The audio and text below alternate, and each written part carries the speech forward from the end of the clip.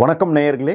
இன்றைய நம்முடைய சிறப்பு விருந்தினர் அரசியல் விமர்சகர் இந்திய அரசியல் உலக அரசியல் இந்திய பொருளாதாரம் உலக பொருளாதாரத்தை உற்று நோக்கக்கூடிய பல ஆய்வுகள் நடத்தக்கூடிய திரு ஸ்ரீராம் சேஷாத்ரி சார். சார் வணக்கம் சார்.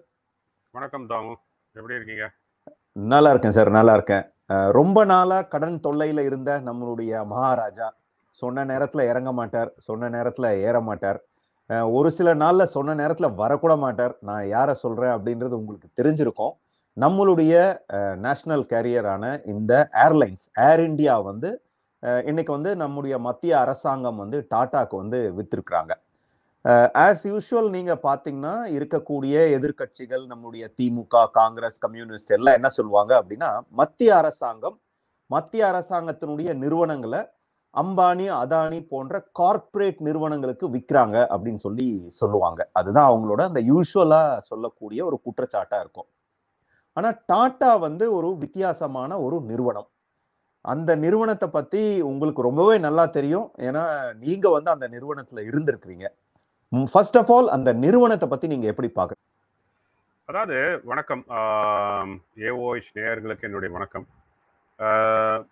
டாடா ஏர்லைன் டாட்டாவுக்கு இந்த ஏர் இந்தியா விற்றதை பற்றி நம்ம பேசுவதற்கு முன்னாடி கண்டிப்பாக ஒரு டாடா நிறுவனம் என்பது ஒரு தேசிய சிந்தனை உள்ள நிறுவனம். இதுதான் முக்கியமான ஒரு பாயிண்ட் அதோடு இல்லாமல் இந்த நாட்டுக்காக நாம் என்ன செய்தோம் என்று பார்க்கக்கூடிய ஒரு நிறுவனம். நீங்க ஒரு நைன்டி நைன் ஒரு சின்ன சின்ன சிறுக்க சர்க்கிள்கள் இருந்திருக்கலாம். ஒரு ninety nine point nine percentage நீங்கள் டாடா நிறுவனத்தை எந்த ஒரு விஷயத்துலையும் ஒரு கான்ட்ரவர்சியில் சிக்கினதா பார்க்க முடியாது. அதே மாதிரி ஒரு கஸ்டமருக்கு கொடுக்கக்கூடிய ஒரு கமிட்மெண்ட் அதை வந்து நீங்கள் டாடா நிறுவனத்தை நம்பி இன்றைக்கும் வாங்கலாம். நீங்கள் ஒரு காராக இருக்கட்டும் இல்லை ஓல்டாஸ் ஃப்ரிட்ஜாக இருக்கட்டும் இல்லை நீங்கள் டாடா நிறுவனத்தில் வரக்கூடிய ப்ராடக்ட்னாலே மக்களிடம் இதை நம்பி வாங்கலாம் அப்படின்னு இருக்கக்கூடிய ஒரு நம்பிக்கை இதை வந்து நீங்கள் டாடா நிறுவனத்தை தாண்டி பார்க்க முடியாது. அதில் வேலை செய்பவர்களுக்கு கொடுக்கக்கூடிய ஒரு மரியாதை அவர்களுக்கு இருக்கக்கூடிய welfare I think no other company can give இதில் பெரிய அளவில் சம்பளம் நீங்கள் வந்து அப்படியே வந்து at par with the market at par with the market இருக்கும். மார்க்கெட்டோட கம்மியாலாம் இருக்காது. இப்போ ஒரு நான் நான் வந்து வேலை செய்திருந்த டிசிஎஸ்ல வேலை செஞ்சுட்டு இருந்த காலத்தில் உதாரணத்துக்கு இன்ஃபோசிஸ்ல இருக்கிறதெல்லாம் ஒரு ப்ரைடு அப்படின்வாங்க ஏன்னா அங்கே ஸ்டாக் ஆப்ஷன் கொடுத்தாங்க. இங்கே ஸ்டாக் ஆப்ஷன்லாம் கிடையாதுன்னு ஆனால் பல விஷயங்களில் டாடா டிசிஎஸ்ல இருந்த ஒரு சலுகைகள் உங்களுக்கு இன்ஃபோசிஸ்ல இருக்காது. அடிச்சு சொல்லுவேன். ஆனால் அப்போ எப்போ எப்படி இருந்த இன்ஃபோசிஸ் இன்றைக்கு எப்படி இருக்கு?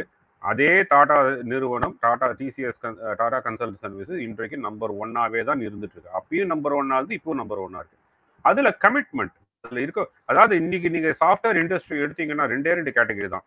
ஒன்னு டிசிஎஸ் எம்ப்ளாயி இல்லைன்னா எக்ஸ் டிசிஎஸ் எம்ப்ளாயி இப்படி தான் இருக்கும். ஏன்னா அவர்கள் தான் ஃபர்ஸ்ட் ஃபர்ஸ்ட் ஆரம்பிச்சது. அதுல இருந்துட்டு வந்த பெருமை நான் இன்றைக்கும் நான் வந்து பல கம்பெனி போகும்போது கூட எனக்கு அந்த கம்பெனியில் இருந்த ஒரு பெருமை எப்போதுமே இருக்கும். அதுக்கப்புறம் ஆசென்ச்சூர்ல மேனேஜிங் டைரக்டரா இருந்திருக்கேன். தனியாக தொழில் செய்கிறேன். இருந்தாலும் எனக்கு அந்த கம்பெனியில இருந்த ஒரு பெருமை இருக்கும். இதுதான் வந்து அவர்கள் அந்த ப்ரைடு அப்படின்னு சொல்லிட்டு டாடா குழுமத்தில் நீங்கள் ஒரு மெம்பராக இருந்தேன்னு சொல்லிக்கக்கூடிய ஒரு கர்வம் இருக்கு பார்த்தீங்களா? அதை எடுத்துட்டு வருவாங்க. அதுல நிறைய வெல்ஃபேர் ஸ்கீம்லாம் இருக்கு. நான் கம்மிங் டு இந்த டாடாவுக்கு ஏர் இந்தியாவை விற்றதை பற்றி அது ஆக்சுவலி விட்டுறதை பார்க்கறதுக்கு நம்ம இதனுடைய ஹிஸ்டரியை கொஞ்சம் பார்த்தா கொஞ்சம் நல்லா இருக்கும்னு தோணும். முதல்ல ஆயிரத்தி தொள்ளாயிரத்தி முப்பத்தி ரெண்டாம் ஆண்டு டாடா ஏர்லைன்ஸ்னு சொல்லிட்டு ஜேஆர்டி டாடா அவர்கள் இந்த ஃபர்ஸ்ட் ஏவியேஷன் பிஸ்னஸ் அப்படின்னு சொல்லிட்டு பார்க்க போனால் இந்தியாவிலேருந்து ஆரம்பித்தாங்க அதை நாற்பத்தி ஆறில் ஆயிரத்தி தொள்ளாயிரத்தி நாற்பத்தாறில் அவங்க நேம் கன்வெர்ட் பண்ணாங்க. டாடா ஏர்லைன்ஸ்லேருந்து ஏர் இந்தியா அப்படின்னு சொல்லிட்டு மாற்றினாங்க இதனை ஆயிரத்தி தொள்ளாயிரத்தி ஐம்பத்தி ஆறில் ஜேஆர்டி டாடா அவர்களுடைய விருப்பத்திற்கு மாறாக நான் ரொம்ப அழுத்தி சொல்றேன் விருப்பத்திற்கு மாறாக ஒரு பர்சனாலிட்டி அண்ட் இன்செக்யூரிட்டி ஒரு ஆஸ்பெக்ட்னால நேரு அவர்கள் இந்த நேஷனலைஸ் பண்ணாங்க. இது ஏன் அழுத்தி சொல்றேன்னா அந்த நே அந்த காலகட்டத்தில் இந்திய அரசாங்கம் அதாவது நம்ம வந்து இந்திய அரசாங்கத்துக்கு அது பெரிய பெரிய இண்டஸ்ட்ரீஸ்லாம் வரத்துக்கு பப்ளிக் செக்டார் அண்டர்டேக்கிங் தேவையாக இருந்தது.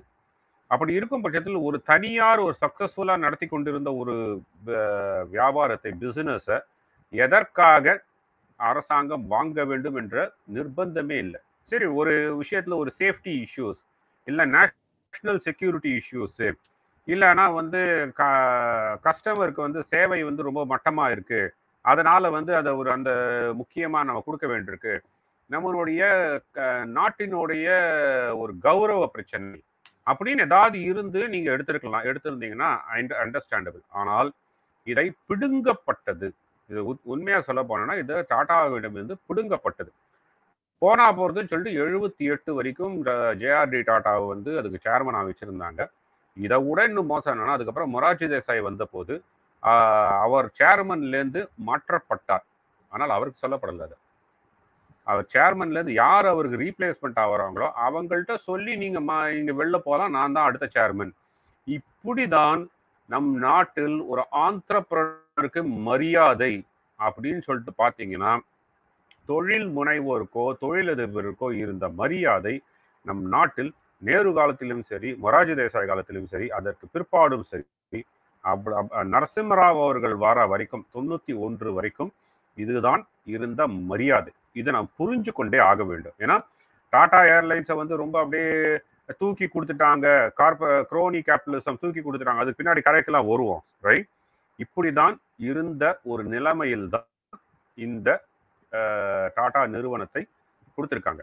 சரி இப்ப எடுத்துக்கிட்டாங்களே எழுபத்தி ஐம்பத்தி ஆறுல நேரு அவர்கள் புடுங்கி கொண்டார்கள்.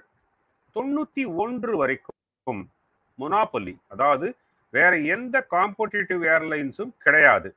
ஏர் இந்தியாவுக்கு போட்டியாக இந்தியாவில் எந்த ஒரு ஏர்லைன்ஸும் கிடையாது. மொனோபலியா இருந்தது. ரொம்ப லாபகரமா இருந்திருக்கணும் இல்ல கவர்மெண்ட் தான் நடத்துது. போட்டி கிடையாது. மிகப்பெரிய லாபத்தில் இருக்கணும்னு பார்த்தா பாடு பா- கேவலமாக அஹ், நடத்தப்பட்டது. இதுக்கு முக்கிய காரணம் என்னன்னா சப்சிக்வெண்ட் ரொம்ப முடிவுகள் சில முடிவுகள் எடுக்கப்பட்டது. அதை பத்தியும் வரேன் நான்.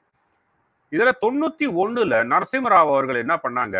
இந்த ஏர்லைன்ஸ் இவ்வளவு நலிவடைஞ்சு இருக்கு இதை நம்ம சரி பண்ணணும்னு சொல்லிட்டு அப்போது ஐடிசி நிறுவனத்திடம் இருந்து ஒய்சி தேவேஸ்வர் அப்படி என்பது ஒய்சி தேவேஸ்வர்ன்றது அப்படியே வந்து ஐடிசி நிறுவனத்தினுடைய டாப் மோஸ்ட் எக்ஸிகூட்டிவ்லாம் கிடையாது. இரண்டாம் மூன்றாம் நிலை எக்ஸிகூட்டிவ் ஓகே பெரிய ரொம்ப பெரிய அளவு தெரிஞ்சவரும் கிடையாது. எஃபிஷியண்டா எனக்கு ஒரு இத இந்த ஏர்லைன்ஸை நான் சரி பண்ணணும் அப்படின்னு சொல்லி அப்போது இருந்த ஐடிசி நிறுவனத்திடம் அவர் கேட்டபோது இவர் இவர் செகண்ட்மெண்ட்டாக கொடுத்தாங்க ஒய்சி தேவேஸ்வர. அதாவது டிரான்ஸ்ஃபர்லாம் பண்ணல. ஆன் டெபுட்டேஷன் ஏர் இண்டியாக்காக கொடுத்தாங்க. அவர் வந்து ஒரு மூன்று வருட காலத்தில் இந்த ஏர்லைன்ஸை ப்ராஃபிட்டபுளாக மாற்றினார் நல்லா சக்ஸஸ்ஃபுல்லாக ப்ராஃபிட்டபுளாக மாற்றினார் அதற்கப்புறம் காம்படிஷன்லாமும் வந்த போது கூட இந்த ஏர்லைன்ஸ் நன்றாக இயங்கி வந்தது. ஓகே. இதுக்கு அதுக்கு அதுக்கு அடுத்த பிற்பாடு பொலிட்டிக்கல் ப்ரெஷர் நைன்டி ஒன்னுக்கு அப்புறம் நடந்த இந்த கொயலேஷன் கவர்மெண்ட்லாம் வந்தது பார்த்தீங்களா? அப்போ திருப்பி இதனுடைய சரிவை ஆரம்பித்தார்கள். அதாவது ஐம்பத்தி ஆறுலேருந்தே நன்றாக செ- இய- இயங்கி வந்த ஒரு நிறுவனத்தை வேண்டுமென்றே அபகரித்து அதை நலிவடைய செய்து அதுக்கப்புறம் நரசிம்மராவ் வந்து அவரு நேஷனலிஸ்ட் கொஞ்சம் நல்லா பண்ணலாமேன்னு சொல்லிட்டு அதை மாற்றி அமைத்து திருப்பி நலிவடைய செய்தார்கள். இதுதான் உண்மை. இந்த நலிவடை செய்ததுல இந்த பாலிடிக்ஸ் இருக்கு பார்த்தீங்களா அதுவும் முக்கியமா யூபிஏ ஒன் அண்ட் டூல செய்யப்பட்ட பாலிடிக்ஸ் வந்து இதை விட ஒரு மோசமான ஒரு பிஸ்னஸை வந்து யாரும் செய்திருக்க முடியாதுங்க.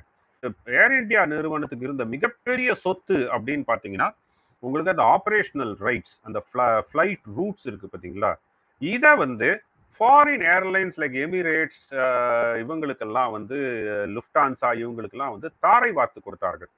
அதாவது ஏர் இந்தியாவுக்கு இருந்த அந்த ரெகுலர் ரைட்ஸை தாரைவாத்து கொடுத்தார்கள்.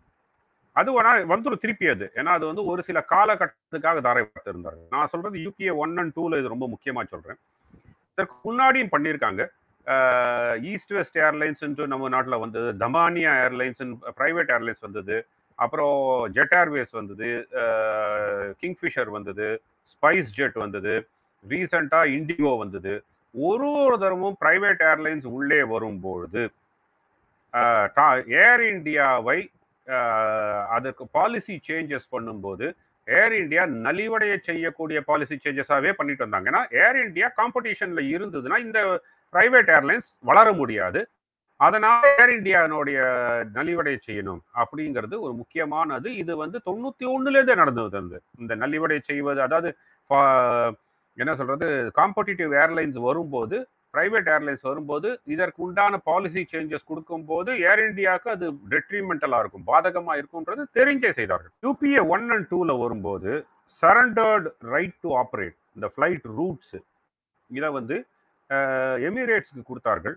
இது கண்டிப்பாக பிரபுல் பட்டேலுடைய க- கை மிகப்பெரிய அளவில் உண்டு. அதற்கு கண் கண்டிப்பாக எனக்கு ஆதாரம் இல்லையே தவிர அதனால் ஆதாரம் இல்லாமல் சில குற்றத்தை சொல்லக்கூடாது. கண்டிப்பா கையூட்டு பட லஞ்சம் இல்லாம இது நடந்திருக்காது. ஓகே? ஏன்னா ஏர் இந்தியானுடைய ஃப்ளைட் ஃப்ளைட் ரூட்ஸ் ரைட்ஸை கொடுத்தாங்க. லேண்டிங் ரைட்ஸை கொடுத்தாங்க.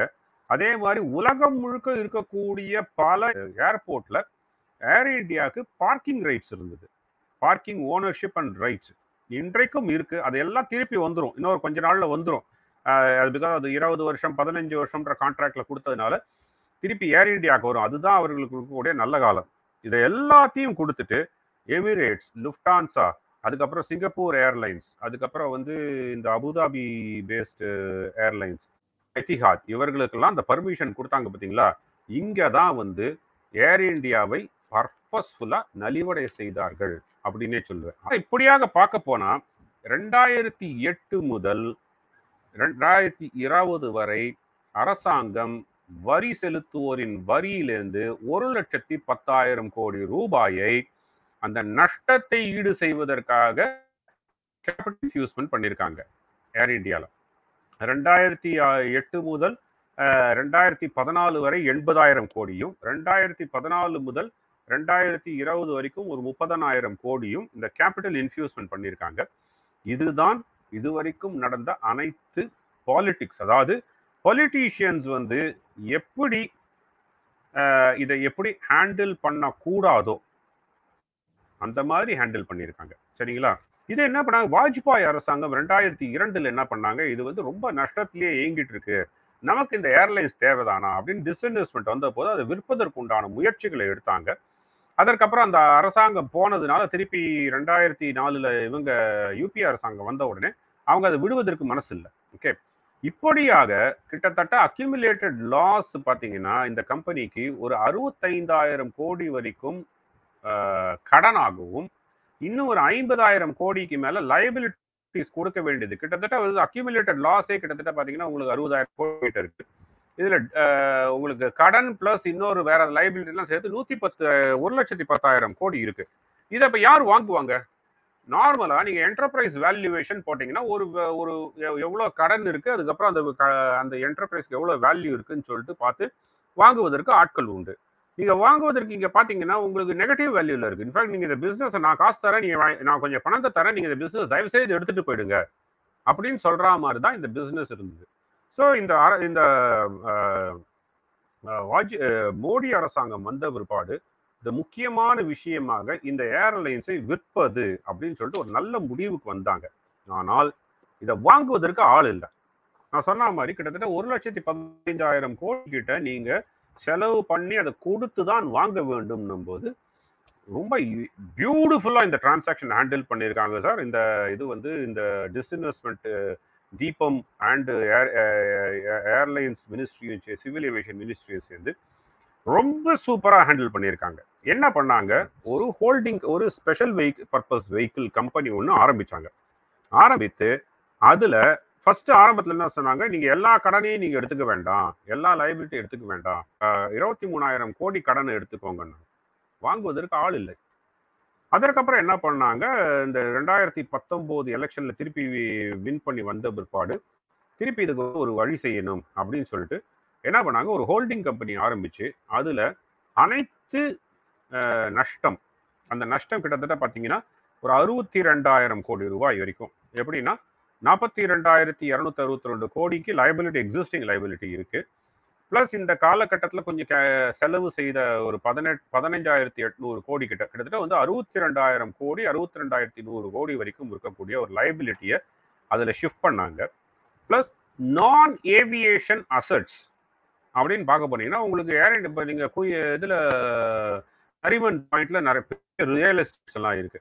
அந்த மாதிரி நான் ஏவியேஷன் அசட்ஸ் எல்லாத்தையும் இவங்க என்ன பண்ணாங்க? அந்த ஹோல்டிங் கம்பெனி அதனுடைய வேல்யூ கிட்டத்தட்ட ஒரு பதினஞ்சாயிரம் கோடி ரூபாய் கிட்ட. ஸோ நெட்டாக பார்த்தீங்கன்னா இன்னும் உங்களுக்கு நாற்பத்தி ஏழாயிரம் கோடி ரூபாய்க்கு லைபிலிட்டி இருக்கு. நஷ்டம் லைபிலிட்டி எல்லாம். அதை வந்து அதுக்கு ட்ரான்ஸ்ஃபர் பண்ணிட்டு இவங்க என்ன பண்ணாங்க? என்டர்பிரைஸ் வேல்யூ எனக்கு பன்னெண்டு பன்னிரெண்டாயிரத்தி தொள்ளாயிரம் கோடி ரூபாய். அதுக்கு மேலே நீ ஒரு ரூபா குத்தா கூட நீங்க வாங்கிட்டு போயிடலாம். அப்படின்ற அளவுக்கு ஒரு முடிவை சொன்னாங்க. டாடா என்ன பண்ணாங்க? பதினைந்தாயிரத்தி பதினெட்டாயிரம் கோடிக்கு கிட்டத்தட்ட இந்த கம்பெனியை வாங்கியிருக்காங்க. ஸோ சூப்பர் வேல்யூ கொடுத்துருக்காங்க. இதில் என்னன்னா பதினைந்தாயிரத்தி முந்நூறு கோடி ரூபாய்க்கு இருக்கக்கூடிய கடனை அவர்கள் எடுத்துக்கிறாங்க. அதை நாங்கள் செட்டில் பண்ணிக்கிறோம் அப்படின்னு சொல்லிட்டு.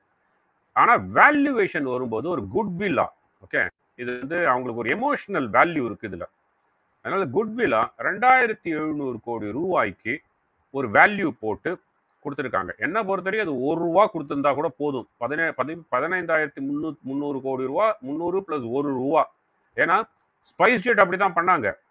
அதனுடைய வேல்யூ நெகட்டிவ் வேல்யூ போன போது உங்களுக்கு வேல்யூ டிஸ்ட்ரக்ஷன் ஆன போது ஒரு ரூபாய்க்கு ஸ்பைஸ் ஜெட் நிறுவனம் விற்கப்பட்டது.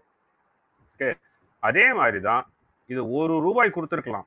ஆனால் கண்டிப்பாக இப்போ இருக்கக்கூடிய ஒரு குட்வில் ஜெஸ்டரில் என்ன பண்ணியிருக்காங்கன்னா ரெண்டாயிரத்தி எழுநூறு கோடி ரூபாய் அரசாங்கத்திற்கு இந்த நிறுவனத்தை விற்பதற்காக கொடுத்திருக்கிறார்கள். இவர்களுக்கு இதில் என்னெல்லாம் வருது? இந்த டீல் மூலமாக டாடாக்கு என்னெல்லாம் க- அந்த இதில் வருது? அப்படின்னு பார்த்தீங்கன்னா கிட்டத்தட்ட ஒரு நூற்றி நாற்பத்தி ஒரு ஏர்கிராஃப்ட் வருது. இந்த நூற்றி நாற்பத்தி ஏழு ஏர்கிராஃப்ட் தான் அவங்களுக்கு பெரிய தலைவலியே.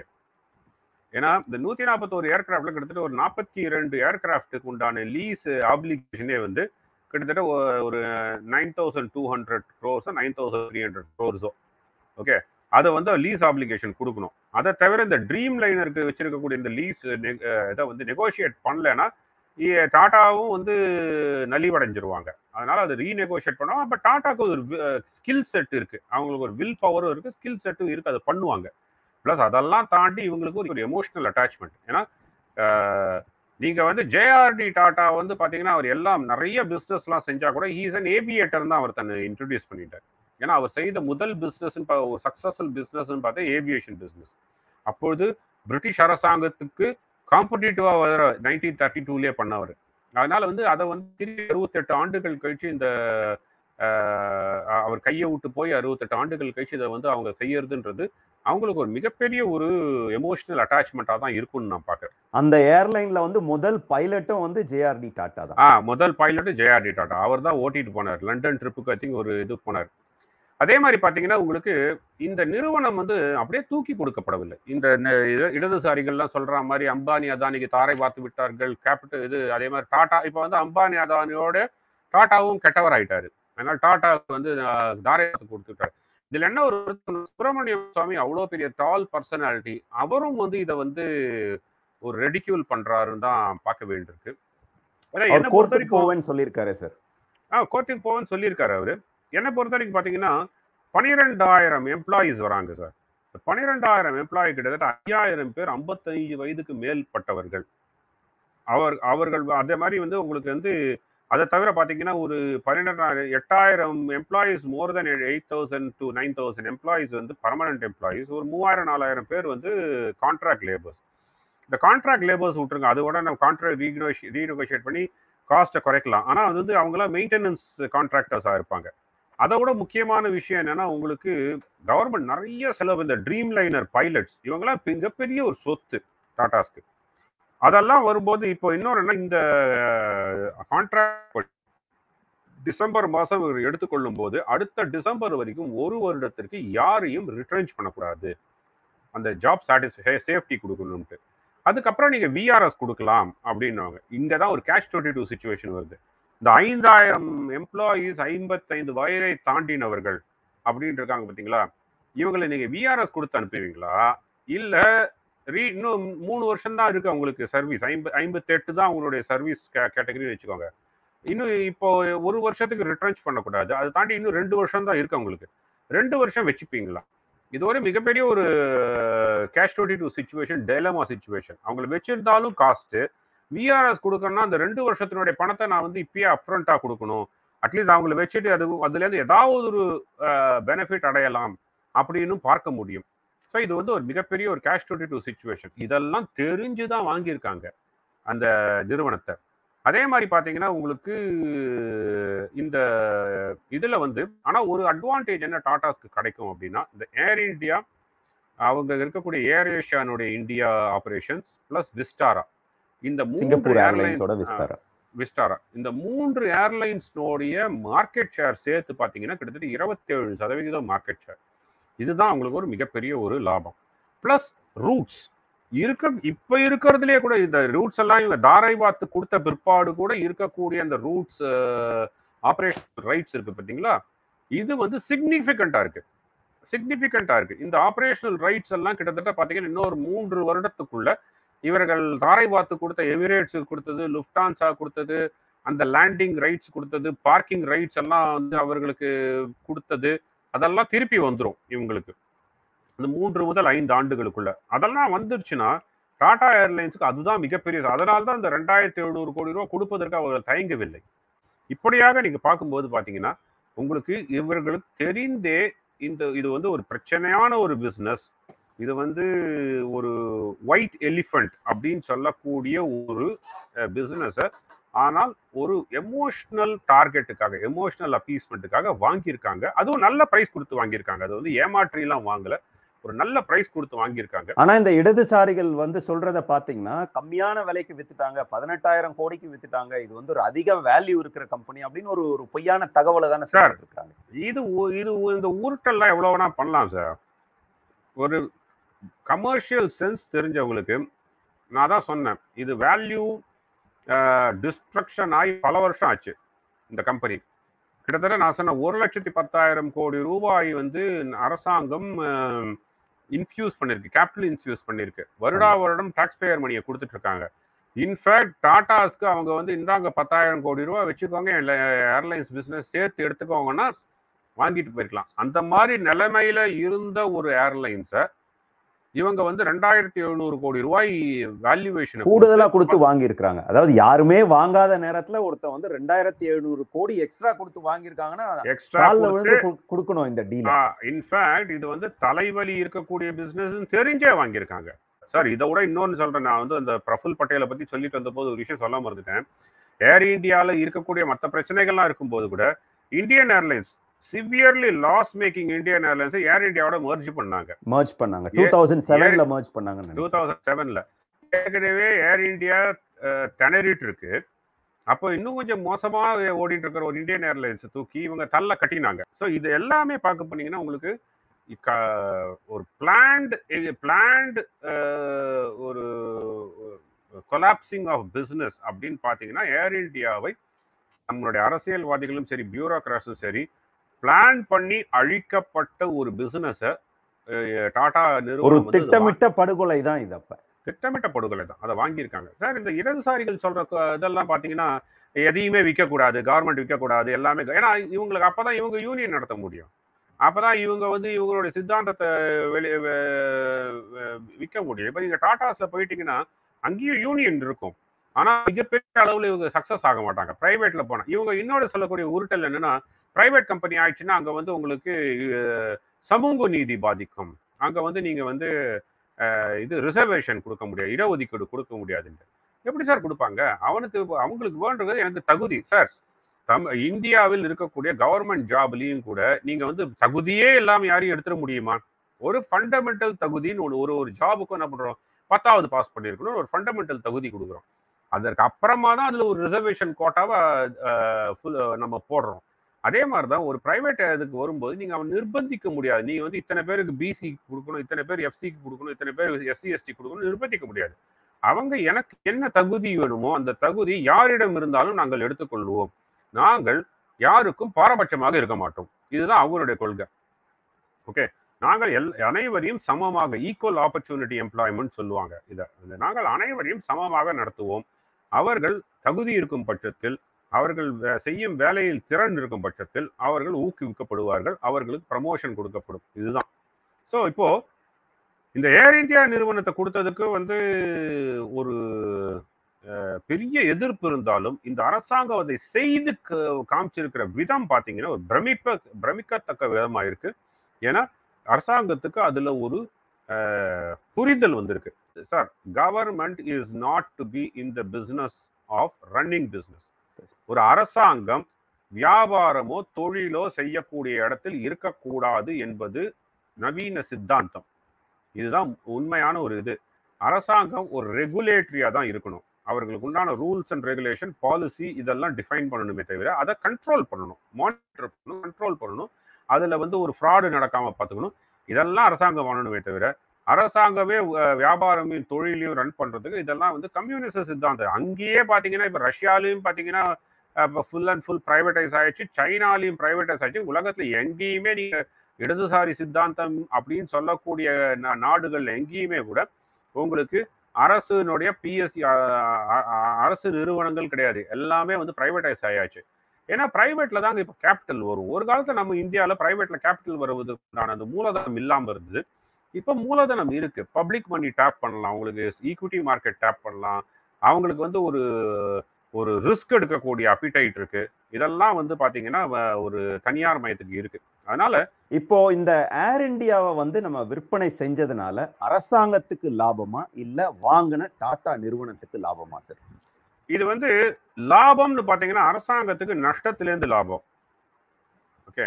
ஏன்னா இப்பவும் சொன்னேன் கிட்டத்தட்ட நாற்பத்தி ஏழாயிரம் கோடி ரூபாய் அவர்களுக்கு நஷ்டம் இருக்கு. ஏன்னா அது ஒரு ஹோல்டிங் கம்பெனிக்கு மாத்திருக்காங்க. அந்த ஒரு ரியல் எஸ்டேட் அசட்ஸ் இதெல்லாம் வந்து வச்சு அதோட ரியல் எஸ்டேட் அசட் ஒரு அஞ்சு வருஷம் கழிச்சு ஜாஸ்தி ஆச்சுன்னா இந்த ந- நஷ்டம் எல்லாம் வந்து இன்னும் கொஞ்சம் க- கம்மியாகும். அவ்வளவுதானே தவிர இப்போதைக்கு ஒரு நாற்பத்தி ஏழாயிரம் கோடி நாற்பத்தி ஆறாயிரத்தி ஐநூறு கோடி கிட்டத்தட்ட வந்து அந்த ஒரு நஷ்டத்தை இவங்க அப்சர்வ் பண்ணியிருக்காங்க. அதை டாக்ஸ் பேயர் மணியில தான் கொடுத்தாகணும். ஆனா ஒன் அது வந்து ஒன் டைம் செட்டில்மெண்ட்னு சொல்லலாம். இதுக்கு மேல வருஷா வருஷம் நான் இருபதாயிரம் கோடி முப்பதாயிரம் கோடி செலவு பண்ண தேவையில்லை. அதாவது எவ்வளவு நஷ்டம் அடைய போறோம் அப்படின்றது இன்னைக்கே நம்மளுக்கு தெரியும். இது இதை தாண்டி இதுக்கு மேல நஷ்டம் அடைய போறது இல்லைன்றதும் தெரியும்.